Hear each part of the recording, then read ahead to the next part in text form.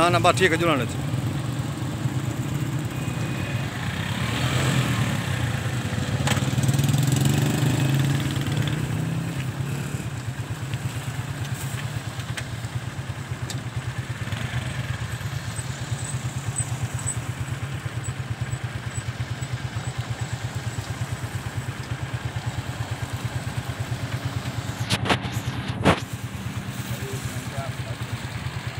ਜੀ ਲੋ ਮੈਂ ਬਾ ਵੀਡੀਓ ਬਣ ਕੇ ਬਣਾਉਣਾ